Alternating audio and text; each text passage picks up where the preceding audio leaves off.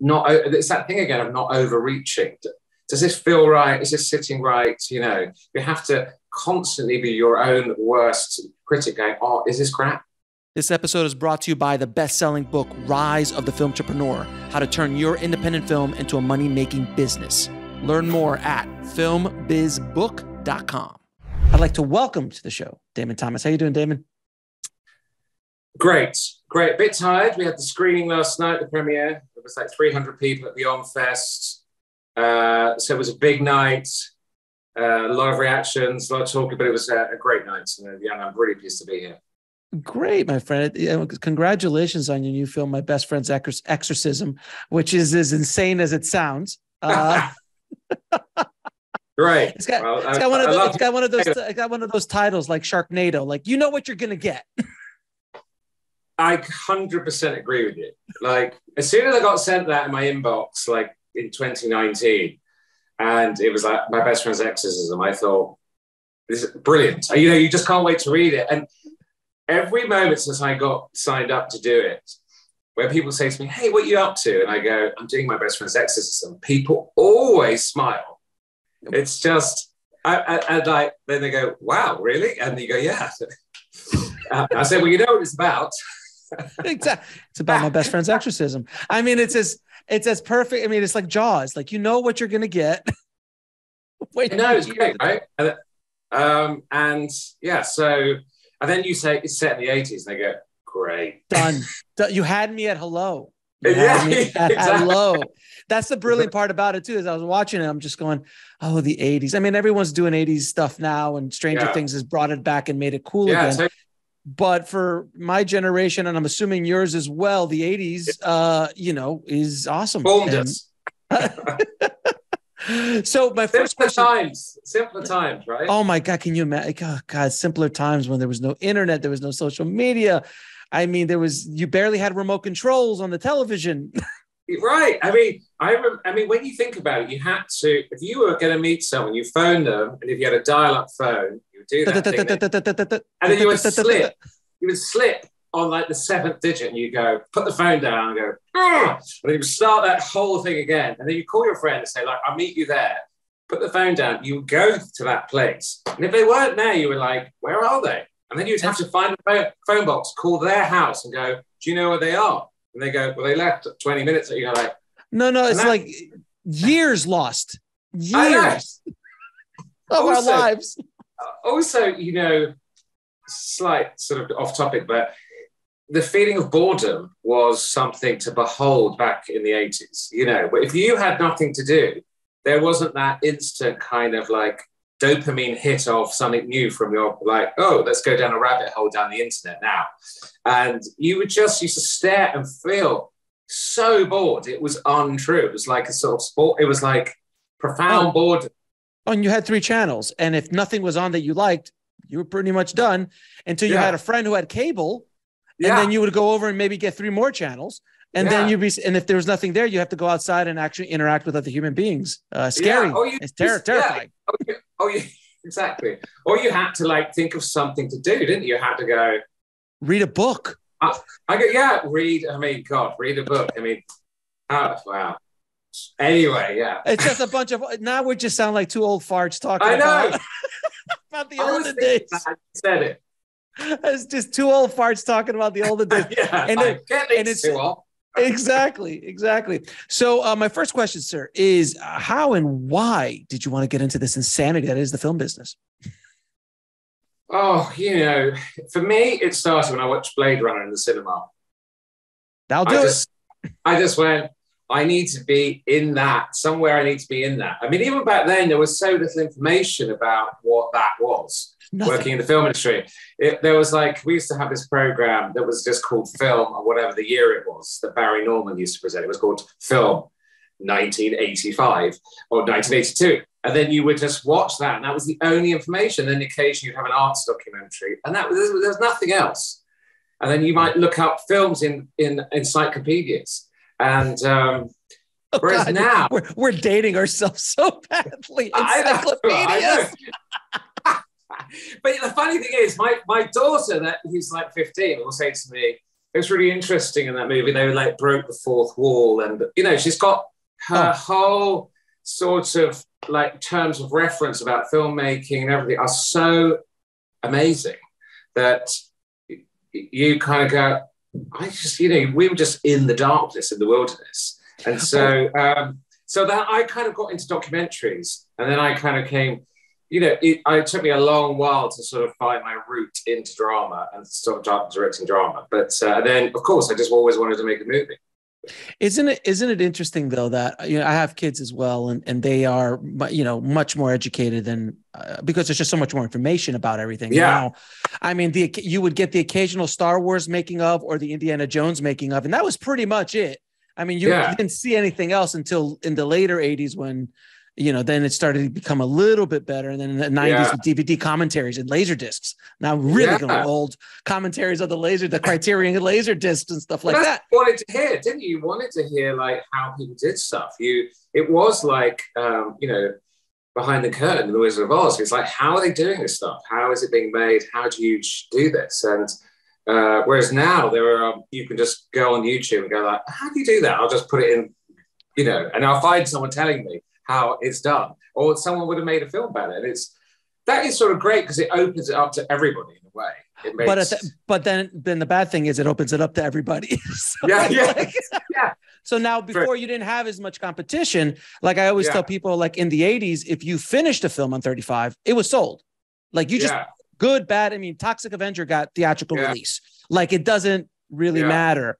But now everybody's making a movie and now it's about getting seen and, and all of that kind of stuff. But you were saying about your daughter knowing how the reference from uh, references yeah. about that the generation that's that's now it is so educated in story. Yes. It is so difficult for the for us as filmmakers as storytellers yes. to make something that's interesting that doesn't hasn't been done before and every year that goes by it's getting harder and harder yeah. and harder to yeah. because you know things that worked in the 70s and 80s just don't they can't work and like I've, i was i was showing I've, i think it was some kids were watching rocky the other day rocky rocky yeah. and they're like eh. because every because they've just seen everybody rip off rocky yeah, of course. For the last 40, 50 years. Yeah. So it doesn't have the same umph to it as it used to. So it's it, how do you as a storyteller kind of kind of deal with that? Because it is something very, very difficult. Things that Hitchcock yeah. never had to deal with. No. We, we no, do. right. Uh, I mean, I suppose every genre has tropes. Um, so and the you know the horror genre is a very broad church from slasher movies to psychological horror to sci-fi horror, you know, to Alien, Aliens, and those amazing movies, to kind of comedy horror. And so you, you know, the the Exorcist is sort of like the benchmark of like the hand, it's a handbook of how to, you know, do you are you going to do the vomit? Are you going to do the, you know, are you going to do and and how are you going to do it? And uh, it's sort of interesting because you're always going to disappoint someone. You're always going to, someone's going to go, well, I wasn't scary. But the thing about it is, I didn't want, want the film to have this sort of tone that felt like an 80s movie. And then it kind of went into a completely new realm of like, oh my, you know, where did that come from? Right. And I wanted it to stay within the same thing. So The Exorcism for me was a great, I thought, can we pull off this thing where it's kind of scary and quite disturbing? But then it's funny, it's like relieved by this real character of Christian Lemon. And the thing is, because once you, he's sort of desperate, uh, but um, and you know when I when I first met Chris, we were talking about it rehearsing. I said he's sort of a loser, but he's kind of a bit cocky. But he a cocky loser, he, a cocky loser. yeah, and he does want this. He does want it really badly. So that when the demon shows himself, he just goes like, Yes, we have a demon. And does a high five, and she's totally traumatized. And for me, and it was great watching it last night because people really enjoyed that moment and uh, really enjoyed Christian Lemon. And I think actually it's it showed me that there's kind of quite a nice group dynamic when you. I think you could really watch this movie with a group of friends. Oh yeah. I, it's not like I don't think it's a sort of well, you know, people watch obviously watch your mobile device, devices all the time, but it actually made me really think about that group experience of watching movies. You know, I went to the cinema. What did I see? Thor with my son. You know, a, mm-hmm. a week ago, and you know, it's it, it is great being in a cinema, isn't it? There's something that is so. I, that's why I thought last night. I thought it actually really helps when mm-hmm. everyone's going through because like when when the when the she burns him, Andras. Yeah, they, they all cheered last night. It was fantastic. You know, I was totally not expecting it. But it's primal theatrical yeah. experience. It's, it's a primal experience. We're all around the fire. Yeah. It's a primal thing and group experiences of a story where you know the core of all stories is is basically to teach us not to be eaten by the tiger down the street. Yeah, you yeah. know, around around the corner. That was the point of stories right. around the campfires. They were, and then they evolved into morals and lessons and things. And now it's entertainment because we get a yeah. lot of them eating potatoes from other other kind of media. But it is, yeah, you're absolutely right, without question. Now, uh, go ahead. And just to, also just to pick up on that point is, I think that even if you have never made a uh, movie, TV, uh, and you know, but you've people sort of absorb so much about you sort of watch something, you go, they're going to get together, he's going to die, he won't. Right. You know, you just feel it, right? You feel you know that you know it because you know how these things work. You sort of so that when you get like uh, you know, say a series like Severance or Station Eleven you on TV, you literally go, I've got no idea where this is going. And they, they feel quite refreshing. And I wanted to do some things where you sort of felt, I thought, wouldn't it be funny if this felt like a movie that someone thought they hadn't seen from the 80s? So it had a bit of an 80s vibe.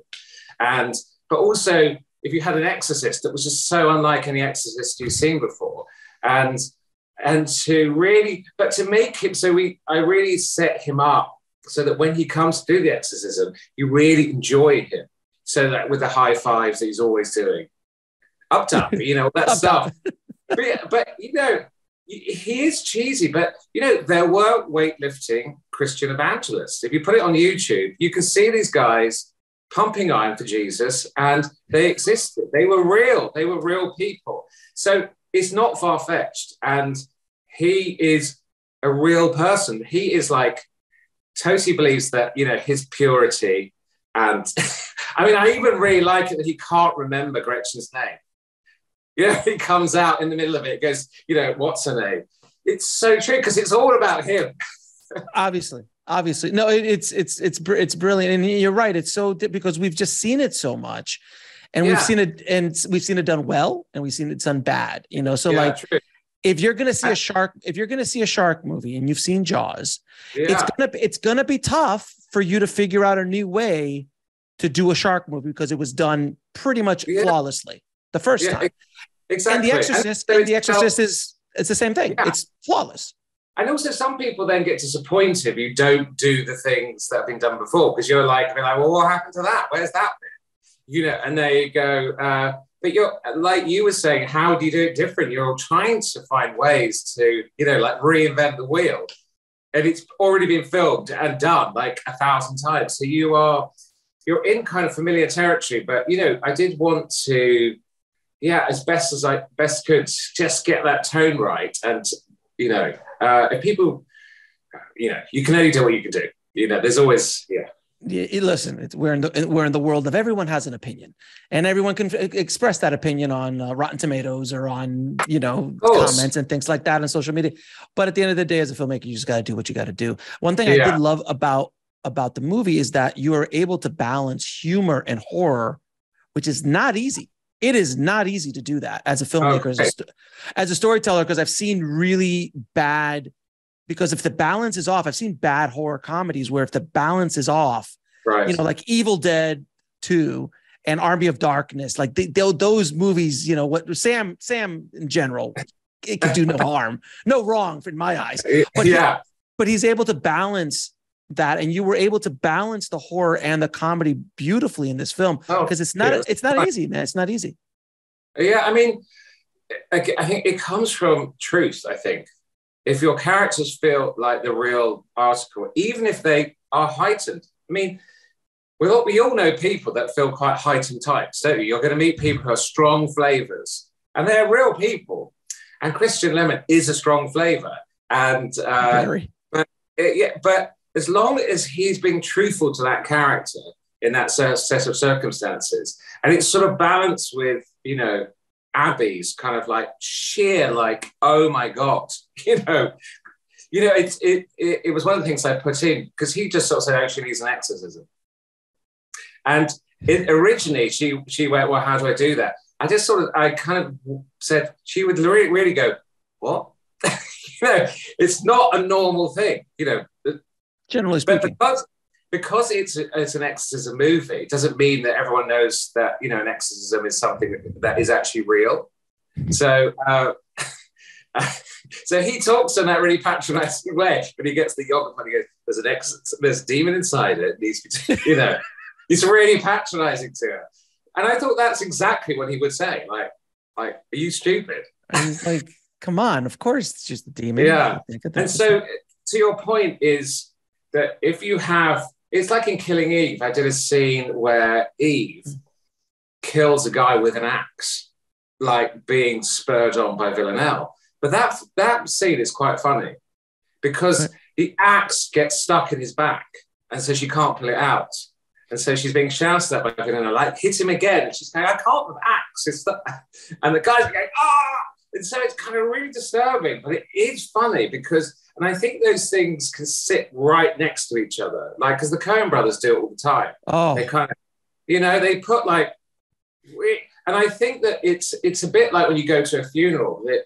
That you feel like sometimes doing the other thing that you're not meant to, like laughing, because it's the relief intention that you need because of the emotional expectation. You oh, know, oh, you're. Did, did, I'm sorry, I don't mean to interrupt you, but you, when you said no. funeral, do you remember? I don't know if you saw this online somewhere, but some guy died. Okay, he died, and at his funeral, he he put a speaker. He had his family put a speaker inside of the inside of the casket and as they're as they're this is part of his wishes as it's being laid down like hey hey hey no no no no no i'm alive i'm alive no no oh no no stop and he's hitting and knocking and and it's and people are pissing themselves i mean the kids oh, everyone's oh. crying but then everyone starts laughing because they know it's what he yeah. would do i'm like oh my god that is so that, brilliant that, that is brilliant that is fantastic that's forward fa- planning as well isn't it that's real forward planning that's yeah, yeah. He, I think he was sick and he was gonna die. He's like, I'm gonna do this. I'm gonna do this right. And my favorite tombstone ever is like, I told you I was ill. That's brilliant. Very, very good. Now, so when you started your career, Damon, I'm assuming that uh, the second you said I'm going to be a director, that the trucks of money came in, all the doors came wide open. They said, David, whatever you want to do, all you have is time and money. Oh my God, if only. Yeah. uh, I, yeah, no, I've had, it's a long journey. I, I, mean, I did a degree in physics and I, of course, because uh, that's a prerequisite to be a filmmaker. yeah. And then I just got a job in, uh, you know, uh, I got a job in BBC News and then I gave that up to go and work on an arts program. And then I gradually just did more and more documentaries. I did drama documentaries with uh, about Beethoven and uh, other things. And then I got, uh, yeah, just got a break, you know. Um, I, someone actually approached me to do a drama documentary, and I said, why don't we just do a drama? And it was set in the Antarctic, and we had like 120,000 pounds uh, to make it set. The, and I, I, where I filmed it inside an art, a sort of ice fridge. It was all set uh, on, a, on one of um, Scott's Antarctic missions so that so that their breath was all sort of because there's no, no, no budget for VFX, no budget for VFX. Yeah, and we and we snowed up a studio that was tiny, and um, yeah, it was yeah. So it started back then, in 2006. So yeah, it's been a long road. You know, there's been a lot of there's a lot of miles on the miles on the tires, as they say. Miles yeah, on the exactly. tires. So the so the question is though, because a lot of filmmakers listening are going through these these stages, and again, even in 06, yeah it was a different world than we are today. Like, you know, yeah, it, it's so much more difficult to get in now than it was in the early 2000s. How did you keep going? Is there any advice you can give to filmmakers listening? Right. I mean, obviously back then it was a bit like if you wanted to make a record, you know, you were like you could you just couldn't afford to go into a recording studio. So they seemed very out touch, beyond reach. I think the good thing about today is you can make a, a movie on your iPhone. And I think the thing what you learn by just doing it is sort of, um, uh, you know, how do you make something that just kind of engages people, you know? And I think that that's the thing. You just start making stuff, even if it's you, you know, you and a friend, do something about your life, something that's kind of like you could be filming your own house or in your garden or down the park or things that you can. So they don't need huge production.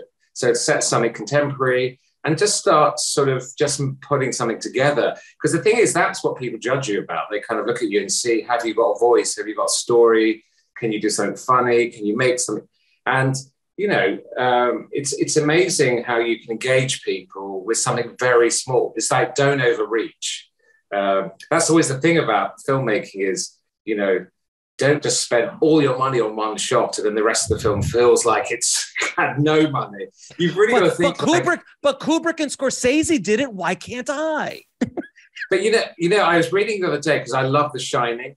Oh, um, it's, it's, my, know, it's, one of my favorites. Look at yeah, it's one of my favorites. Me too, right? It's such an amazing film, and you know, uh, Jack Nicholson axed sixty doors to get his Johnny. That's over three days.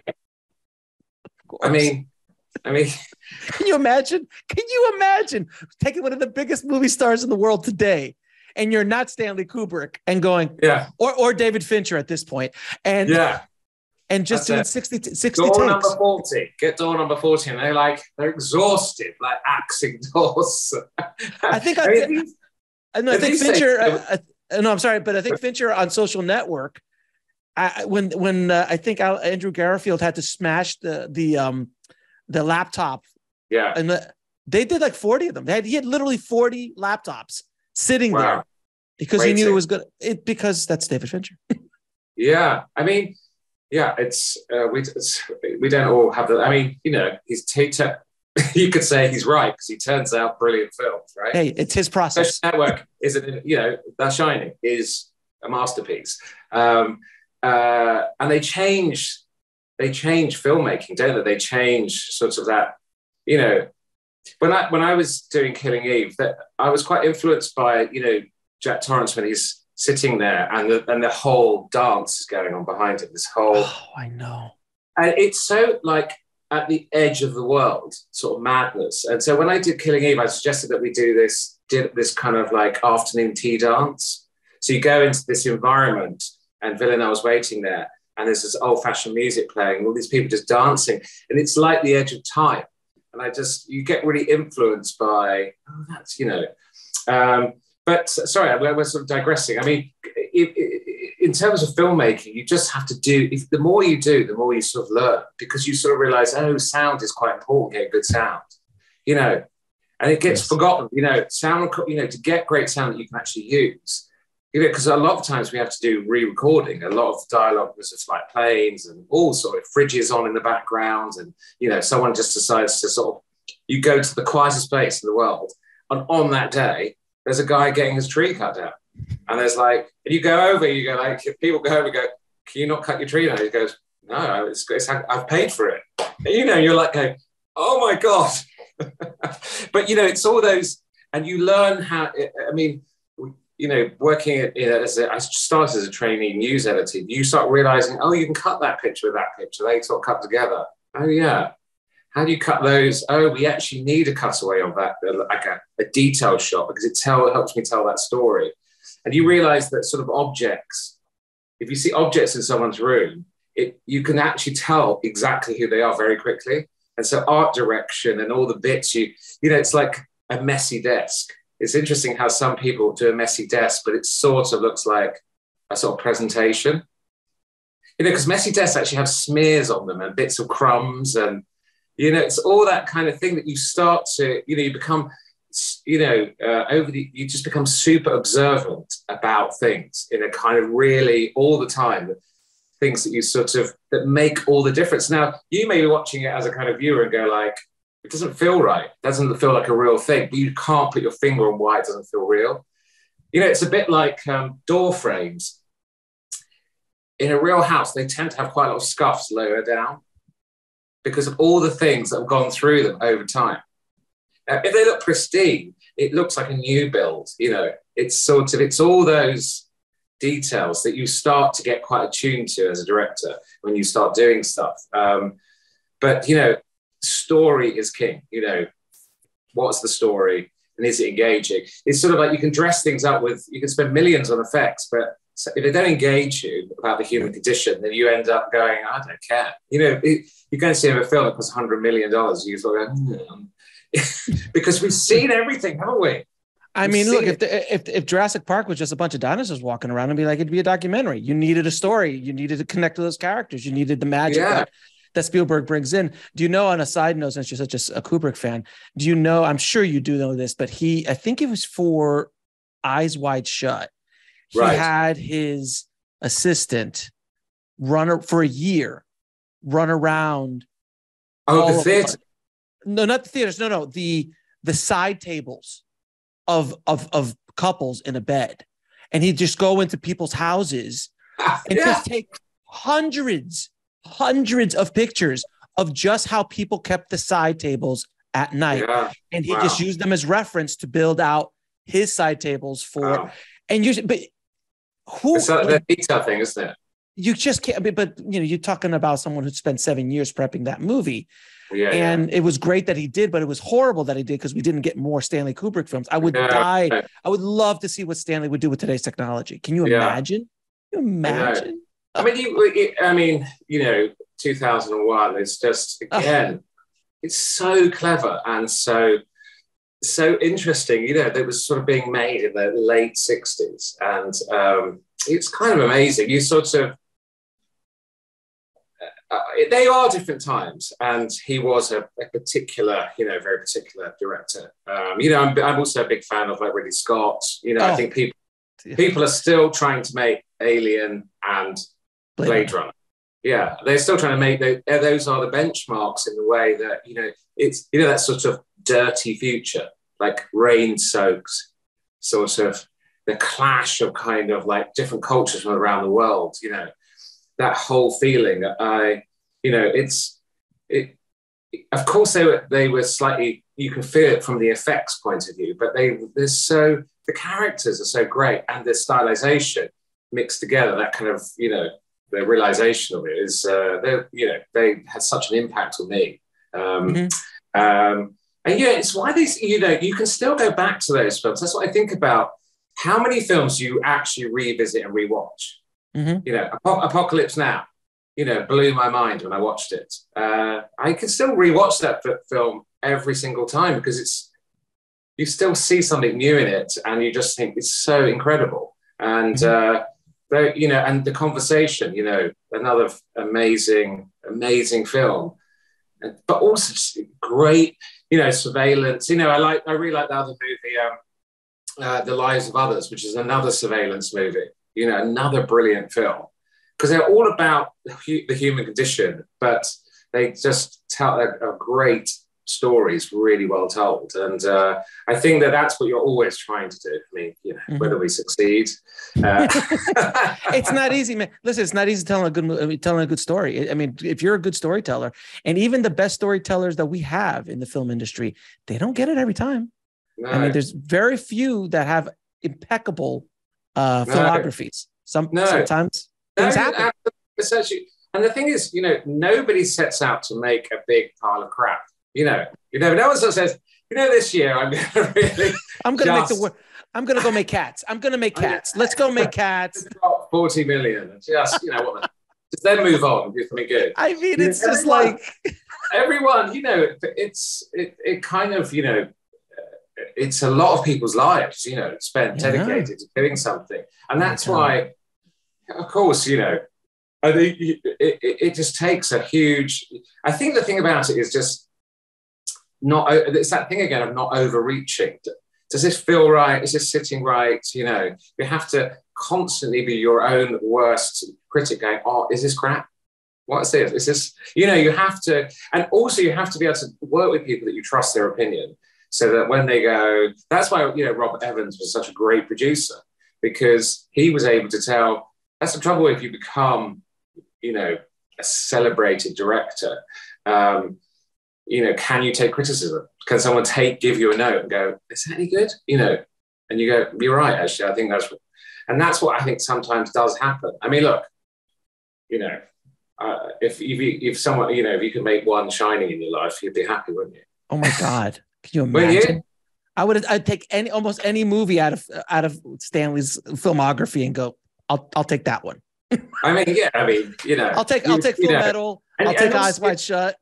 I mean, you would, wouldn't you? Uh, I mean, if and that's why these guys are amazing, and you just keep kind of you know going back and to the revisiting. Yeah, and there's there's not, and that, that's why I kind of judge a film on would I rewatch it? Right. Unless it's like really disturbing that I don't want to rewatch it because I find it too disturbing. But you know, uh, and it's funny how you can, if Jaws is on, you go, actually, I'll watch a bit of Jaws. You know, when you just see it on the streaming platform, you go, I'm going to watch that tonight. Mm, and you just will go back to it, won't you? And kind of re, you know, because also these actors that are in there, you know, you know, Dreyfuss. it's just so they're so good, aren't they? There's such oh, the way that they inhabit those characters is. uh is remar- is remarkable. Now, let me ask you. Uh, you know, as directors, we there's always that day on set that we feel the entire world is coming down crashing around us. Generally, yes. that's every day. That's every day, generally. But there's always the one. It's the heart in the vice. The vice slowly. so, so there's that one day that that's really bad, and you know, the camera doesn't work. Lost the location. The guy's cutting the tree next door. Whatever. Yeah. What was that day for you on uh, my best friend's exorcism, and how did you overcome it? Uh, God, let me. I'm trying to think of those days. Um, let me think. Tell me if we had like a true shocker of a day on that. Mm-hmm. That's good. Because, yeah, because it, the thing about it is, I've been doing it so long that you literally, it's like this sort of thing that when it comes, you just go, yeah, whatever. You just let it you sort of have to absorb it. And uh, like I say, filmmaking is like the same, but always different because of the actors and the team that you have. There's always that combination, and there's always something that will just go wrong. And you just have to, I think doing documentaries for years that uh, allowed me to sort of pivot in a way of just going, because I used to always turn up places like I'd never been before and like meet people, film them, and then go and film some shots. And you were just making it up on literally, if you didn't get to recce, because so you couldn't sort of fly to America and meet the guy and go home again and go back and do, you would just go and film them. And so um, you sort of, so it's kind of like taught me that don't get too rigid. Apart from like action sequences when you have to really plan them, storyboard them, and then pick off shots, which takes a very, very long time. Um, it's why like Bond has like the main unit and then it has the the action unit, and they're running for like six months next to each other because of there's so many shots. But uh, I think that sort of doing documentaries for so long, I just kind of if things sort of go wrong, I can just go, well, let's try and do something else. It doesn't floor me. I kind of go, you know, and, and things just happen all the time, you know. And the classic one is uh, you've got a driving sequence and you just go to the go, right, just drive the car over there. And they go, oh, I don't drive.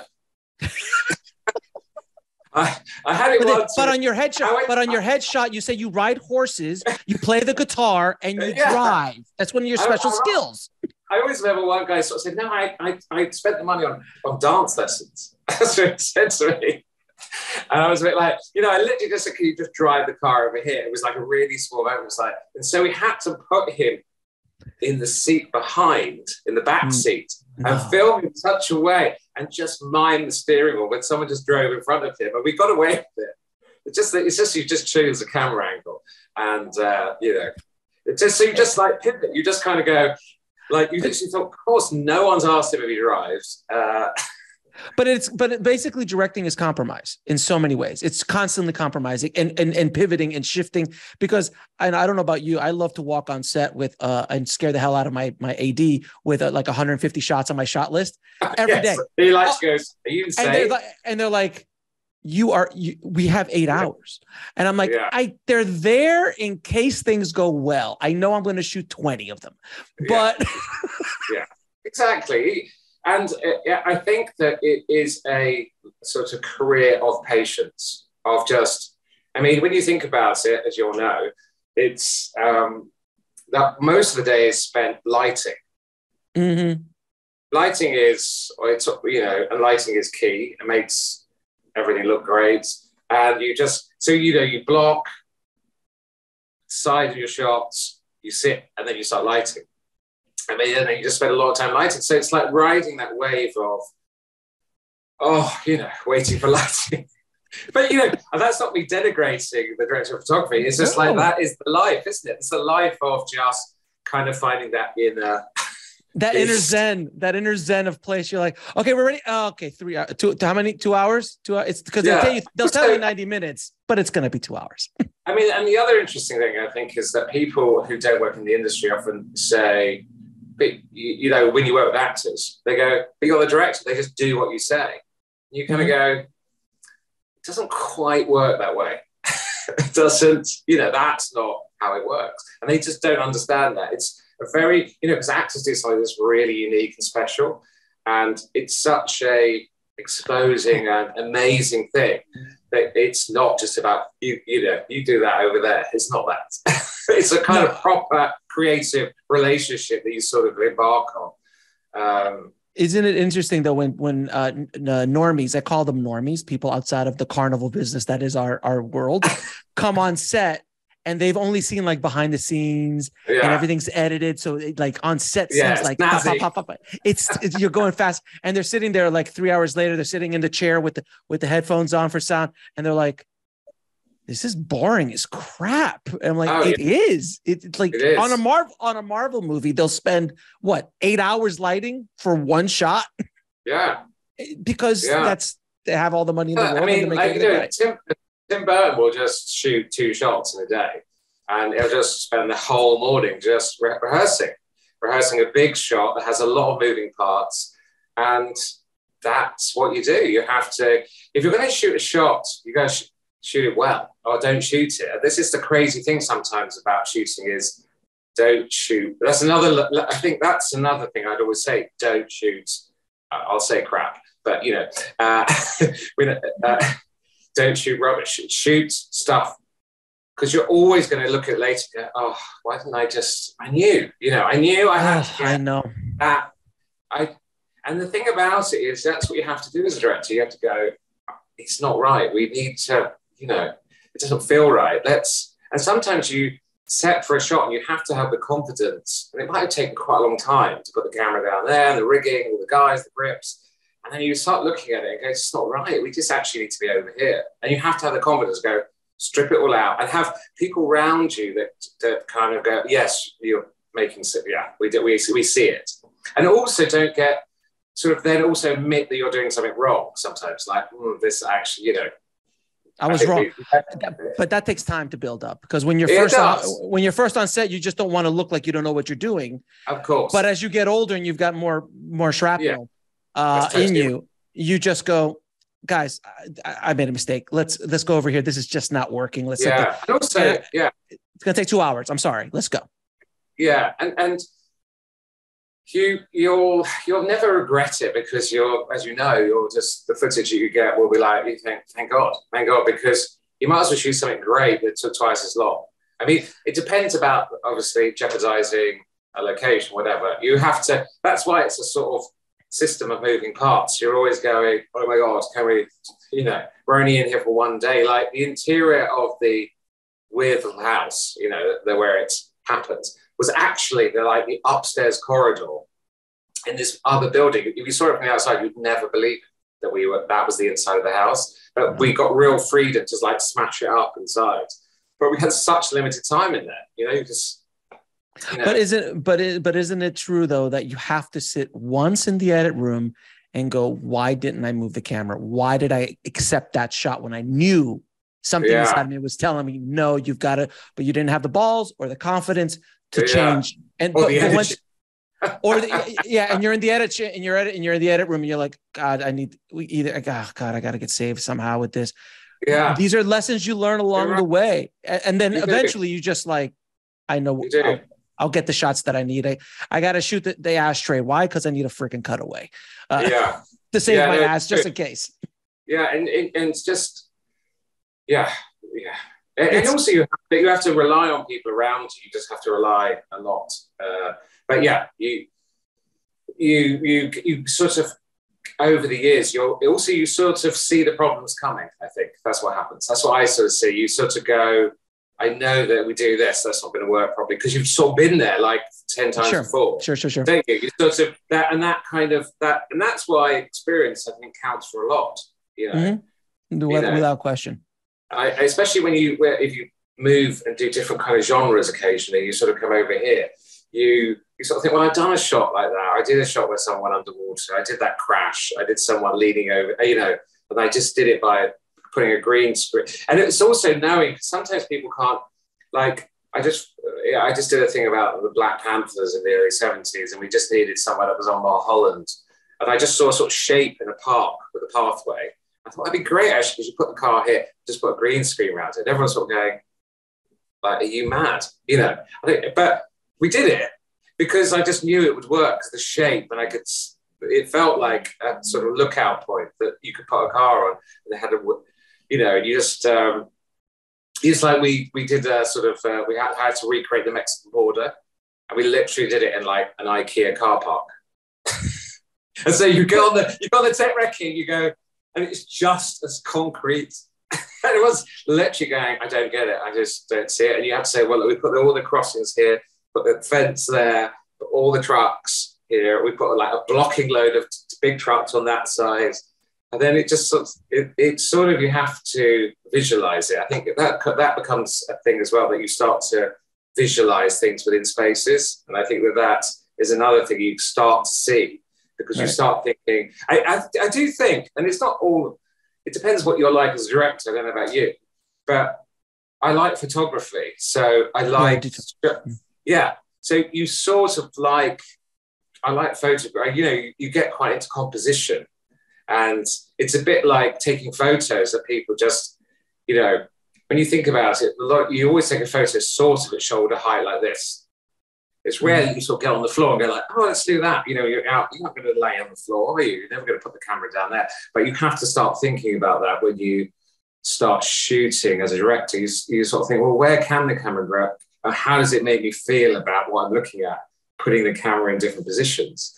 And that's another thing you start freeing yourself up about not just going, here we are, but doing, right. you know. right. but sometimes the sim- sometimes the simplest things are just just as effective. That's yeah. the other thing. Don't oh, yeah, get hung a- up on just making things really flashy, because in the end, it's the performance and the writing that are going to sell it all. I mean, you could look at some John Ford shots and you're just like, well, that's a masterpiece. And they just have to, and he just locked the camera off. Yeah. And, and, and Lawrence you know, just lock just, it off. Just look at just, you know, um, it's insane. Yeah. And, but you know, that's a lot to do with location, isn't it? And get just sort of going, we've got to go all the way to this remote place and do that shot. No, but no, no. Do, IKEA, IKEA, IKEA, and a green screen. You got Lawrence of Arabia. What are you talking about, David? Exactly. That's all you need nowadays. If he would have had IKEA and some green screen, we wouldn't even the desert. That's crazy. That's right. He'd, been, he'd have been down. At, he wouldn't be on Santa Monica so, Beach. So my so my last question to you, sir, is if you were able to go back in time and talk to your younger self, is there one piece of advice you would give oh. him, give him uh, one piece of advice about your filmmaking journey like dude you know you really need to look out for this i think um, is to do as much of it as you can sort of don't kind of just be waiting for the one moment that you feel is coming at a certain point in time.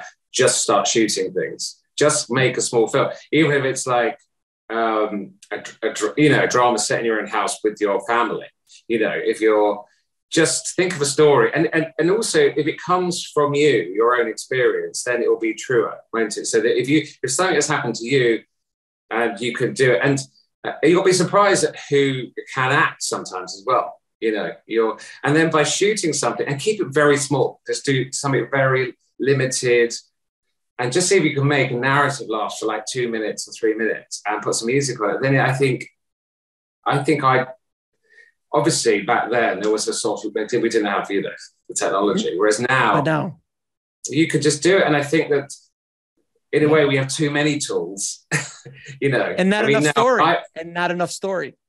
it's true, though, isn't it? And so, so kind of you, I, you know, what's the everything, everywhere, all at once? That movie. You oh, know, how, Daniels. Oh, that be great. Oh, what amazing! What an amazing kind of, but also very, very uh, interesting about the human condition, isn't it? It's all about what people mean to each other and what, yep. and, and it's it's. I mean, people with Frankfurter fingers. I mean, it's when I had them on the show, I'm like, dude, hot dog fingers, guys, seriously? And they're like, yeah, we were we were high. So uh, is that what they said? I think they said something along those lines because like you, this is insane, guys. This is insane. You know, that's what I love about that film. Is like uh, it's like we learn to express ourselves with our feet, and I think Jamie Jamie Lee Curtis is there, and then this little foot just covers up her face and such. I just thought and the thing is, it's nuts, but it's true to them. It's very true. It's perfect. You know? and, it's perfect. And, and, I thought that's just really clever and just funny, very funny and touching. And uh, so oh, they, are great. Those guys, God, they are great. Damon, I could keep talking to you for about another five, six hours about geeking out oh, over. I mean, we could just start talking about Kubrick for an hour alone. Um, oh, where can people Where can people see your new film, My Best Friend's Exorcism?